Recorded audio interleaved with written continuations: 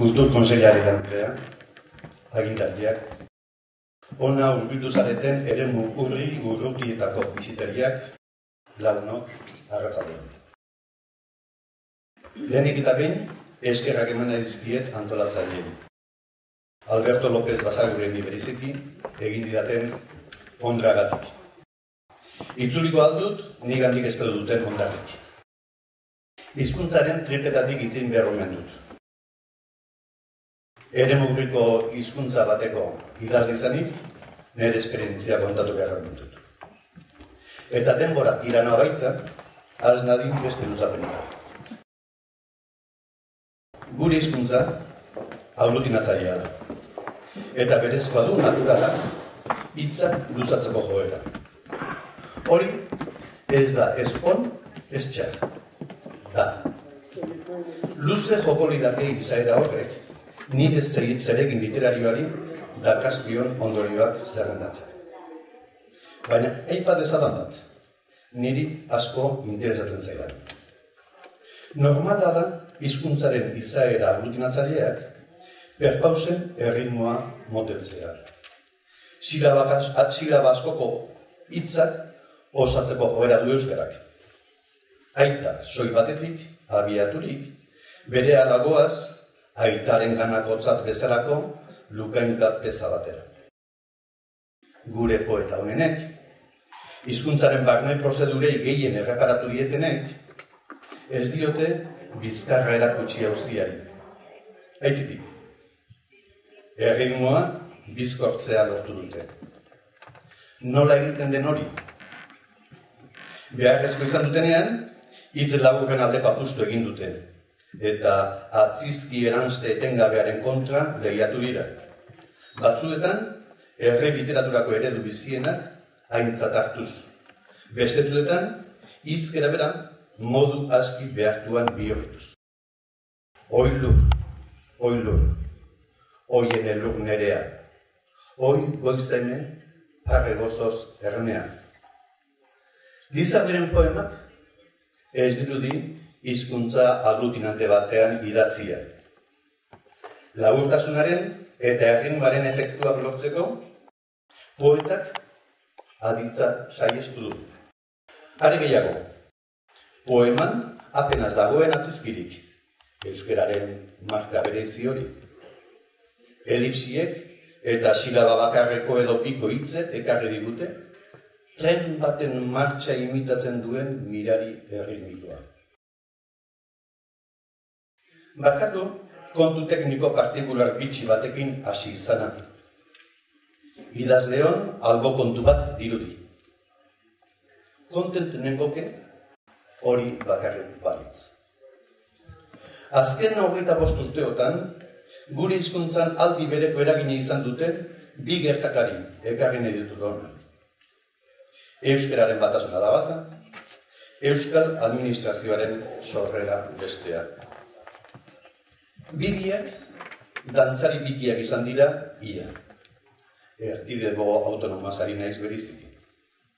Eta ez du, ez du eduta egin dute, orain artean dantza. Normala da.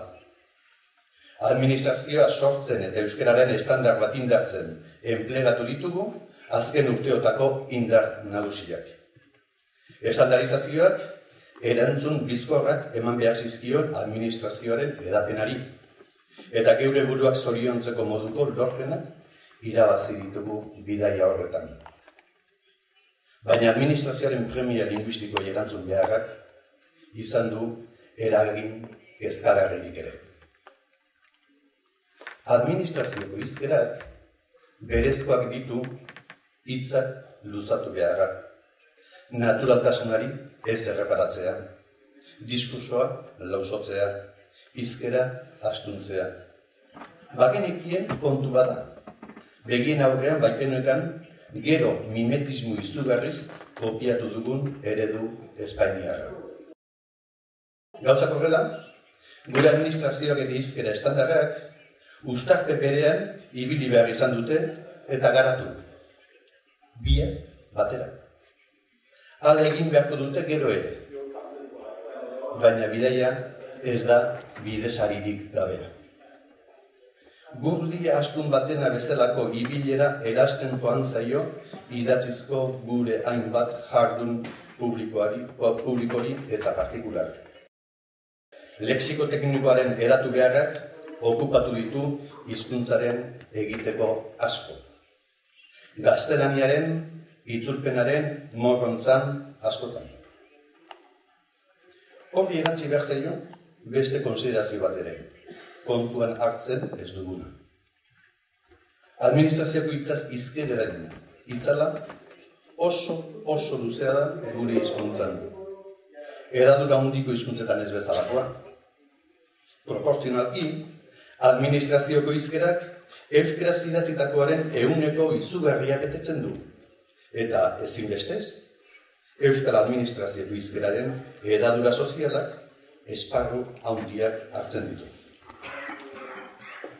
administrazioak guztiz elebiduna behar du legez.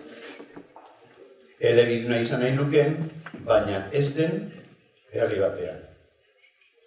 Patxi bastarrikak bere jadunean lehen asimetria aipatu du. Hainbat kontu iburuz. Alatan ere, kezkagarriago egiten zait, administrazioaren izker eredua beste alorretara ere edatu izana edabideek, eta erakunde eskolarrek, eta politikak, eta sindikalintzak, askotan, baita kaleko izkerak ere, afixetan, iragarrietan, bandoetan, izkera hori imitatzeko joera dute, naturaltasunaren kaltetan.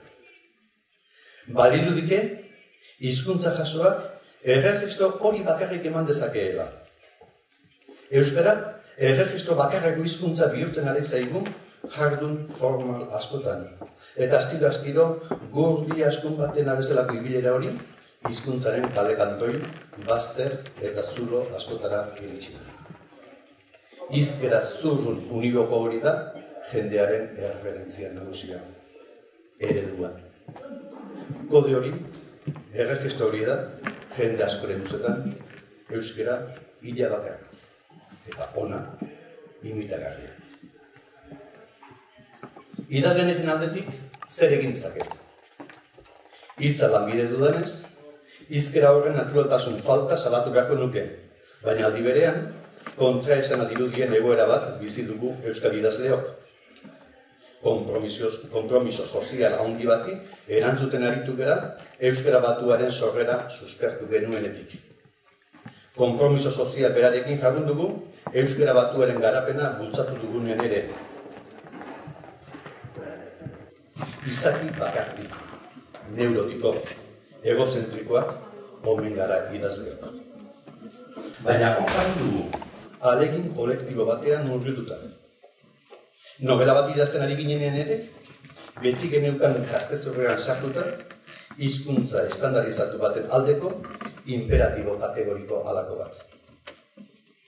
Baina idazlearen zereginetako bat, ez da ba tribuaren izkera erabilgarri egitea bai zerurako nola infernurako. Egon kortzea eta zirik aritzea. Naturaltasuna bilatzea batetik artifizioz mozorrotzea bestetik.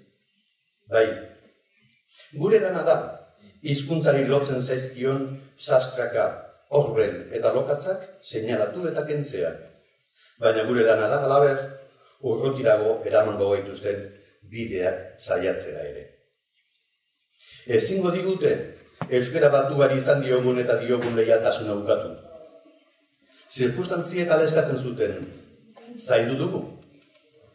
Baina gaixo bati hori zaion erreparo guztiarekin. Egokitu dugu, baina ez zer bortzatzeko arreta pinpirin batez. Naturatu dugulakoan nago, baina artifizioari eta bide berrien urraketari nekete izerdi handirik eskaini gabe. Imperatibo kategorikoa aipatu dut lehen txeago. Ez alferrik. Hizkuntzaren egoerak, bete behar moral asko eta erreparo gehiegi txertatu du gure psikologia literarioan idazteari egiteko orduan. kaosa ordenatu nahiaren neurosiek bizi gaitu idazleok. Gure lanbidearen ezaugarria eta zerga da. Gure lanbidearen zerga bada, neurosi linguistikoa bizitzea ere. Baina hizkuntza hegemoniko bateko idazleak bizi duen neurosi linguistikoa oso harina da gurearekin konparatuta. Nire bezalako hizkuntzatan idazten dugunok nekez kenditzakegu gainetik gure hizkuntzaren o egoera eta hizkuntzaren testu, e, ingurua. Kaosa ordenatzen saiatzaz gainera, hizkuntzari erreparatu behar diogu. Zertaz idatzen edudan erabaki bezain pronto, asmatzen hasi behar dut, zer izkera klase erabiliko dudan.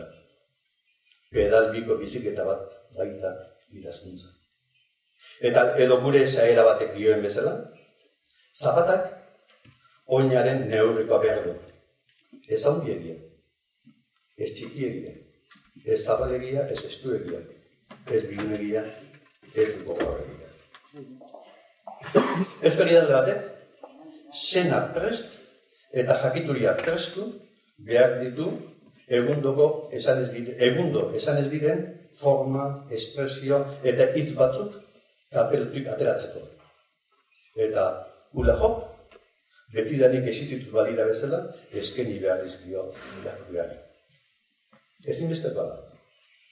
Euskarak, beste dozin hizkuntza bezala, munduko eta bilotzeko bazter guztietara heltzeko ahala du. Baina gutxi gara idazleak eta gutxi gara iztunak. Horra, besteak beste, zertarako balio duen itzulpen gintzak.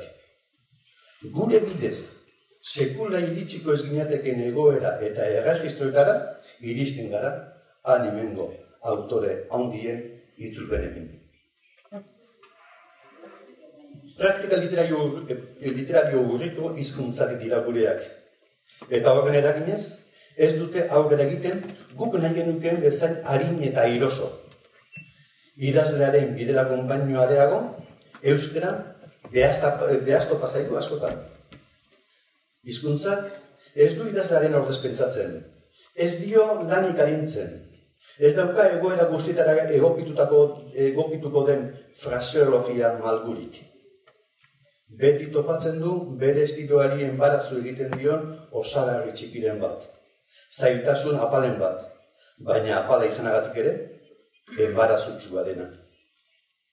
Hizkuntza hegemoniko batean ari den idazle bate, ingelesez, gazteleraz, frantsesez, ez die erreparatu ere egiten osagarri txipioi. Automatizatuta dauzka. Horra besteak beste, zertarako balio duen, tradizioak. Eder, baina aski da nera egiteaz. Emanak gara guri hizkuntzen hauzia, hile eta musikarekin barneratzera. Guri hizkuntzen inguruko guztia, aldapa, neke eta zailtasun giza, gisa, bizitzera. Gure problemak, modu agoniatxu batean planteatzera eta plazaratzera. Alde honei begiratzen ikasi behar dugu. Nire idazle lanera itzuliz. Askotan, biziki amogarazten nauten behaztoka horiek, aukera artistiko deigarriak eta paregarriak eskintzen dizkidar. Aukera artistikoak biodanean, aukera sortzaileak esan nahi dut.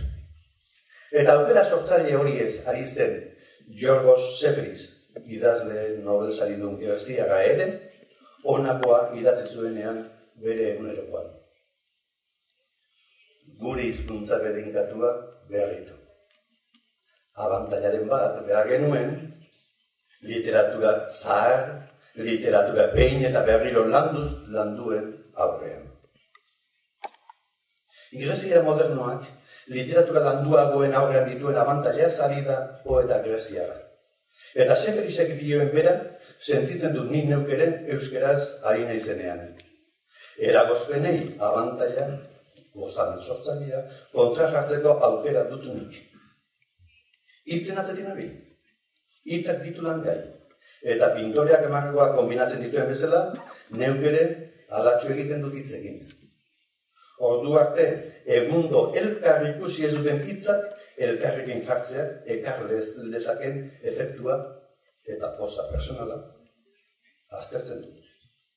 Denbora asko pasa dezaket, esaldi baten barnean, hiru silabako hitz bat baztertu eta bi silabako hitz baten bila. Bestalde, aurrez erabakitako musika jakin bat eta pintura mota edo pelikula bateko argi konkretu bat bideratun ditu dela egiten diot lanari. Testuari tonu bat ematen laguntzen didate autatutako musika eta argiak. Ez, nirea bezalako hizkuntzan ari garen idazleok, ez daukagu hizkuntza hegemonikoetan ari direnek baino zen artistiko gutxiago. Sortzen ari gara, egiten ari gara, normaltzen ari gara. Ez literatura bat bakarrik, baita hizkuntza bat ere. Horain mende batzuk, hizkuntza hegemonikoetako idazleek izan zuten pagotxa behartxuga dudala pentsatzea gustatzen zait. Naiko erraz, seinala ditzaket, orain hogei urteko euskera literarioaren eta gaurkoaren arteko aldeak. Egin dugun bidea, sekulakoa da. Eta non nahi, non nahi antzematen ditut gure arrastoak. Ez dago nire ustez, hori bezalako ere jutzik. Otxopetxe idatzen nuenean, erdi hipotetiko batean kokatutako novela bada, historiaren sinezgarritasunak adina garrantzi zuen iretzat, izkeraren sinezgarritasunak. Nola hitz egiten zuten orain zazpi sortzi mende, ez dakigu. Jakin izan da ere, ezingo nuke orduan bezala idatzi. Nire euskerazko tradizioan neukan, edo neuskan, novela historikoaren jardun apurrek, ez zuten nik bilatzen nuena betetzen. Ona, zer ustartu behar nituen jario natural batean. Alde batetik, euskera batuan. Bestetik, erdi aroko jardun alako baten itxura. Hirugarrenik, literatura universalaeko hainbat ereduren eite. Nik sinesgarri gisa ere egitzen nuena, sinesgarri behar zuen irakurriak ere. Itun alako bat sinatu behar nuen berarekin. Nik sinisten dudarako, zuk sinistu egin behar didazu. Lan irrikatzu hartu nuen, grinez eta pasioz betean. Pausos pauso, estrategia batzuk eraikitzean izan dituen beste testu inguretatik hartutako hainbatitz, esan molde, formula eta konparazio erdi galdu neurera ekartzeko. Baina tartean tartean, baita hitz berria sortzeko ere. Eta ona lan politenetako bat. Hitz eta baliabide retoriko hain guztiak testu inguru berri batean txertatu behar nituen. Ahal nuen naturalen, egoera bortzatu dabe. Irakurleak ezagutzen etzuen hitza testu inguruak argi zezan. Denok ez dugu batxikitan horrela ikasi irakurtzen testu inguruari esker. Niretzat idaztea ez da historioak kontatze hutsa. Hizkuntza bat daukat, Eta hizkuntza horrek, hainbat eragozpen izateaz gainera, baditu abantaila egundokoak ere. Eragozpenen tripetan maixiatu eta abantailek, abantailak ikertzea gustatzen zait. Itzen izaera letrazkoari eta itzen izaera musikalari erreparatzea. Dantza eta praka hitzek esanek bera izan arren euskeraz, oso aukera desberdinak eskaintzen dituzte, giroaren, testu inguruaren eta ondoan duten hitzaren arabera. Perpaus baten kadentziak, bizilabako hitz bat eskaldezake, eta ez irukoa. Perpaus baten kadentzia, hotz gogorren baten premiere honiteke, eta ez lehun batenean. Hitzen eta esaldien musikaltasunari eta errenuari begiratzea, ez da poeten egitekoa bakarrik. Begiratik zaiogun, irain gisako ateraldi hori. Karroizeken mutu zikin alena. Alena esan dut. Arauak, alen, eh, alaena aholkatzen dit. Lehen da bizuko aukera dutatzen badut, alena irusila bakoa. Etxepara baino lehenagotik datorkidan tradizio erritmiko batean ari naiz. Bigarren aukerak berriz, ala enak alegia, erritmo hain gure hori buskatzen dit. Naiz euskara batuak bedingetutako forma izan. Gramatikak eta arauak ezin dituzten hizkuntzaren tripak mendean hartu mendiari ezin omen zaizkio atea jarri, are gutxiago hizkuntza bat. Txikitan, oso baldarra nintzen jolaserako, eta olakoetan beti gertatzen den bezala, beste abildade batzuekin estali behar nuen baldarkeria, eta autoestimua bide batez dotzlotu. Gogoan dut, sarri samarretan errepikatzen zen estena bat. Esiritan nago, Bizpairu ume, ni baino txikiagoak, ez terra eskuin ditu dara. Komiki bat dut eskuetan, eta historio bat asmatzen ari natzaile. Komikiko irudien eta testuen laguntzarekin. Komikia gaztelani ez dago. Ni orduan txe ikasten ari naizen hizkuntza batean. Baina alboan ditu da numei, euskeraz ari natzaile. Gaztelani ez dagoena edo, euskeraz ematen ari naizen. Egiten ari nahi ez da horre itzupena. Ez da egokipena ere. Kontatzen ari nahi zen historio bat, nirea da. Neuk asmatu da. Komikitik abiatu naiz, baina pizkanaka pizkana neure bideak dut.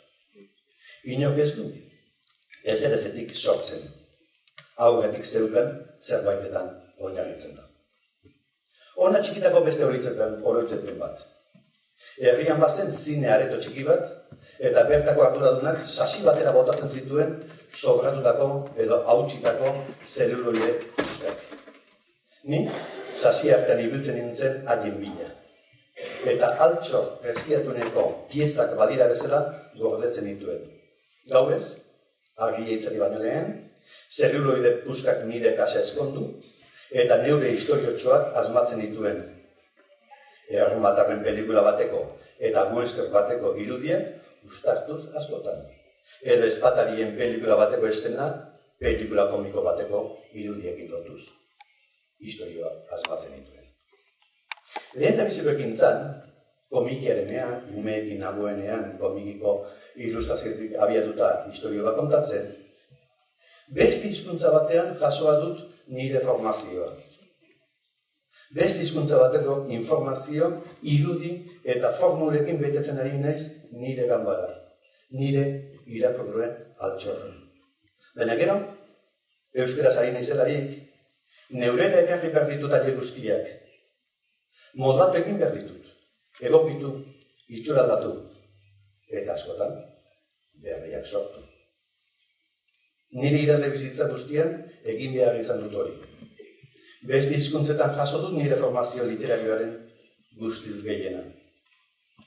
Eta horrek, etengabeko joan etorbeak egitera behartu nago. Ezin bestekoa dut, tradizio batetik bestera ibiltzea. Beste hizkuntzetatik neurera etortzea. Beste hizkuntzetan irakurtzen baitut, interesatzen zaitean asko, bidaiatzen ari naiz etengabe. Paradoxikoa badirudi ere, Eremu urriko izkuntzetan ari garen idazleo, itxiak eta ez kosmopolitak omen garenok, une oro begiratzen diogu auzoari. Guretzat, etxearen eta auzoaren arteko joan etorri eten gabea da idazletza. Hausarteko ditzake, esatena, guretzat ez dagoela auzorik. Bi arnekintzan aldiz, zeruloidozko puskenean, material heterogeneoak, guztiz heterogeneoak, lotzen ditut. Eta egitura berri batean ustartzen. Erlazioa da literatura. Material desberdinak lotzetik, sortzen diren efektuen bila jardutea. Giza kondizioen begibizako erlazioak baino, erlazio ezkutxondoagoetan argi egiten saiatzea. Horretan ari gara, horretan segituko du. Eta denboraren tirania gaur ere garaile gertatu baitzait, hobi izango du. isilik. Mila esker.